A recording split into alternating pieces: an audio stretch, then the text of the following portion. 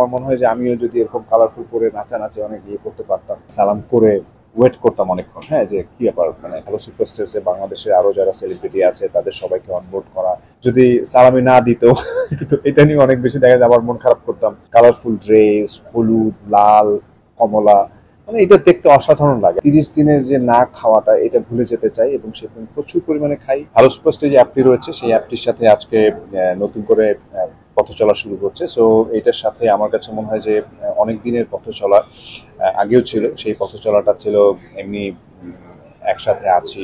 এটার সাথে অনবোর্ড ভালো সুপারস্টার্সের অনবোর্ড সেলিব্রিটি হিসেবে বাট এখন আসলে একদম এটার একজন কর্মকর্তা হিসেবে আছি। সো এটা একদম ভালো লাগা কাজ করছে, অন্যরকম ফিলিংস কাজ করছে দায়িত্ববোধের জায়গা থেকে।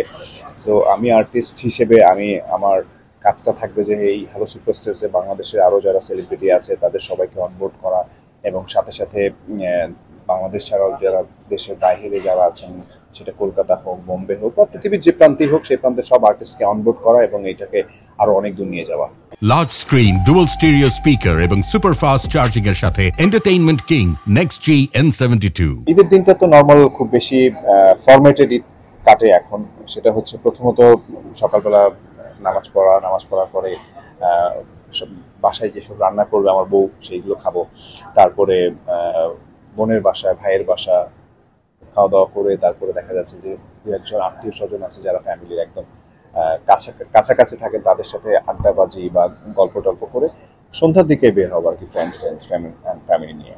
এই যে তিরিশটা দিন রোজা রেখে মানে রোজা রাখার সকাল থেকে সন্ধ্যা পর্যন্ত না খাওয়া সো এই খাওয়াটা অফ করে একদম ঈদের দিন সকাল থেকে শুরু করে প্রচুর খাই এবং এবং আমি একদম তিরিশ দিনের যে না খাওয়াটা এটা ভুলে যেতে চাই এবং সেদিন প্রচুর পরিমাণে খাই এবং যেন মনে হয় যে এর আগে যে রোজা রেখেছিলাম সেটা যেন মনে না থাকে। সো আমার সব খাওয়ার পছন্দ এবং সেটা হচ্ছে যে এই তিরিশ দিনের যে চেঞ্জগুলো বা যে রেস্ট্রিকশনগুলো সেই রেস্ট্রিকশনগুলো কোনো কিছুই রাখি না।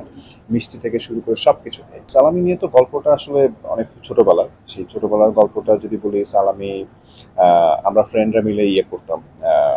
যখন একসাথে বের হতাম, বিভিন্ন আত্মীয় স্বজনের বাসায় গিয়ে বা প্রতিবেশী আঙ্কেল বা আন্টি যারা ছিল, তাদেরকে সালাম করে ওয়েট করতাম অনেকক্ষণ। হ্যাঁ যে কী ব্যাপার? মানে সালামি দিচ্ছে না কেন? এই যে খাবার জন্য অফার করতেছে খাচ্ছি খাওয়ার পরে বসে আছে যে কখন সালামি দিবে তারপর বের হয়ে যাবে। সো এটা নিয়ে মানে আমার ফ্রেন্ডরা মানে আমরা দুজন বা তিনজন মিলে যখন যেতাম তখন দেখা যেত "ও, তাই তুই বল তাই তুই বল। হ্যাঁ মানে এরকম করে বলছে আমরা বলে বলছে ঠিক আছে আঙ্কেল আন্টি আমরা তাহলে আসি।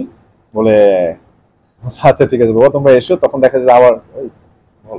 হ্যাঁ এরকম করে দেখা যেত দুই ফ্রেন্ডের মধ্যে অনেক মজা ইয়ে হতো ফান হতো। ফাইনালি যদি সালামি না দিত তো এটা নিয়ে অনেক বেশি দেখা যায়, আবার মন খারাপ করতাম।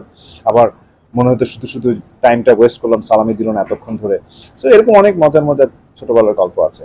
না, এখনও সালামি পাই এবং সাথে সাথে দিতেই হয়। পহেলা বৈশাখ তো আসলে এখন আমার কাছে মনে হয় যে ছোটবেলায় পহেলা বৈশাখ বা ছোটবেলা মানে আরও কিছুদিন আগে যখন ছিল তখন পয়লা বৈশাখগুলো অনেক মজা হতো। রমনা বটমূলে যেভাবে করে আয়োজনটা শুরু হয়, সেই আয়োজনের সাথে থাকতে পারলে অনেক বেশি ভালো লাগতো বাট এখন আসলে অনেক বেশি মানুষ, অনেক বেশি গ্যাদারিং এর কারণে এগুলোকে একটু অ্যাভয়েড করি। বাট পয়লা বৈশাখ আমার আমার কাছে মনে হয় যে বাসা থেকে বের হলে যে এই যে মানুষের যে কালারফুল ড্রেস হলুদ, লাল, কমলা মানে এটা দেখতে অসাধারণ লাগে। আমার কাছে মনে হয় যে অনেক বড় একটা ফেস্টিভ যেহেতু বাংলাদেশের বাঙালির একটা প্রথম দিন সো সেটাকে মানুষ যেভাবে উদযাপন করে, সেই উদযাপনটা আসলে দেখতেই শান্তি লাগে এবং আমার খুব ভালো লাগে। আমার মনে হয় যে আমিও যদি এরকম কালারফুল করে নাচানাচি অনেক ইয়ে করতে পারতাম আরও ভালো লাগতো।